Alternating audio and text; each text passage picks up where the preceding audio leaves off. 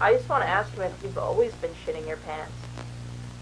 No. Because since I've known you, you've always had like IBS. You've always been shitting yourself. Yeah, well.